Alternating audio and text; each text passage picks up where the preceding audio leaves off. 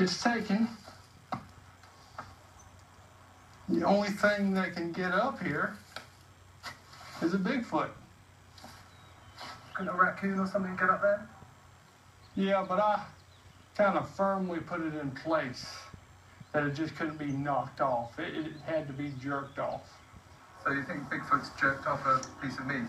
Yes, I do. And that's a very good sign. So now more meat's going up.